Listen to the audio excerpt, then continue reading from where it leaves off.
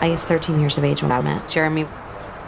It was just a friendship. Apparently, uh, he had eyes on me from the beginning, and um, he he told me later on that he knew the first time he saw me that I was going to be the one that he was going to marry. And he went home that day and told his mom um, that he had met the most wonderful girl and that he was going to marry her. He was very excited about the arrival of the baby.